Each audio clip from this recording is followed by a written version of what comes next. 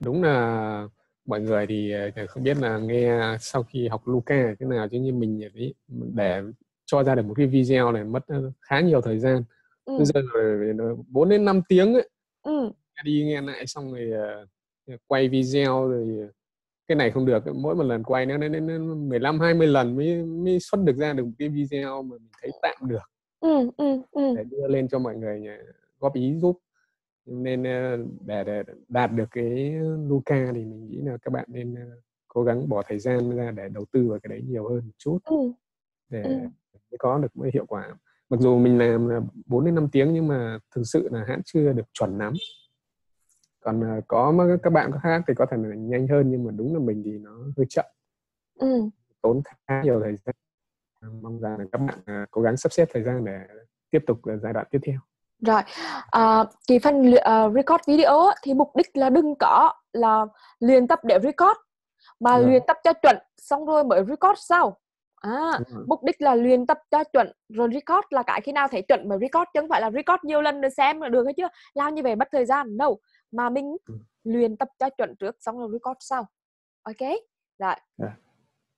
à, tiếp nào à, cảm ơn anh Hướng nhá à, hôm nay hàng nào hàng số 20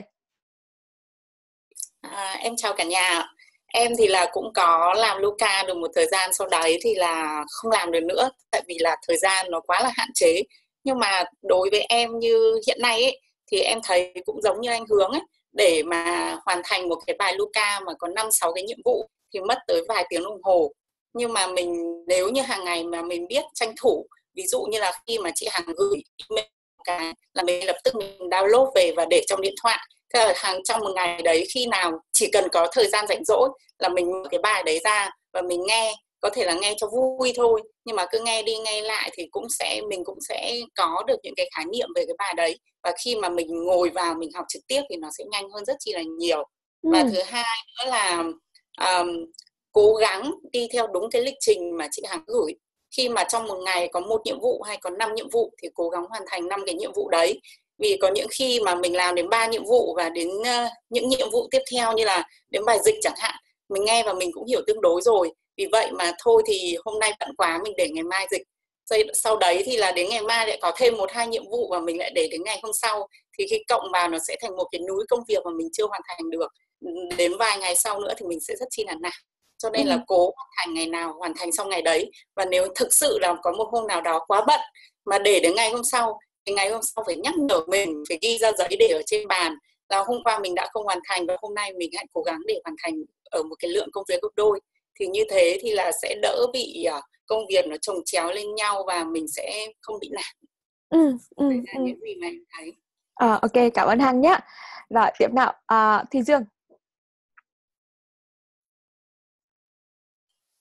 Đối với em thì uh, em mới hoàn thành xong Luca ấy chị. Thì uh, em uh, có là có cái có cái list mà chị in lịch uh, theo theo bài ấy chị. Thì em in cái lịch đấy ra và hàng ngày khi mà em làm thì những cái việc nào em làm xong rồi thì em cứ tích vào đấy.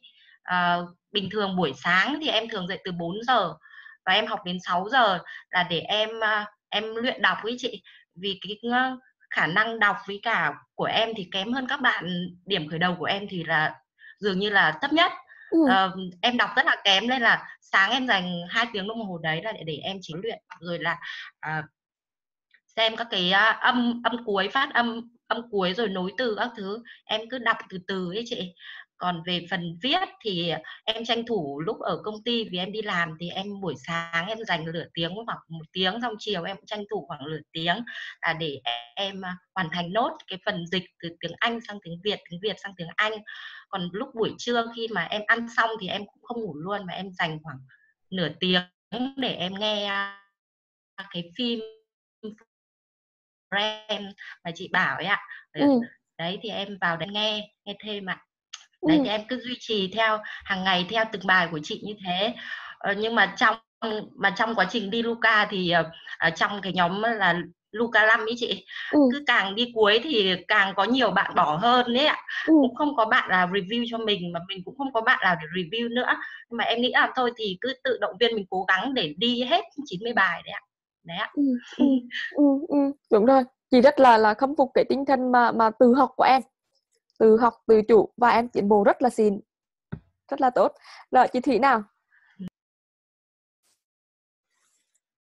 Và cả lớn mọi người có nghe chị nói không?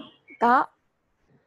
Um, thì um, kể chị có tham gia một lớp học từ năm ngoái luôn nhưng mà sau đó là vì cái công việc và thời gian của chị ra thực sự nói là chị uh, cuối cùng cái phần mà luyện Luca sau đó là chị không không không tự luyện được luôn ấy.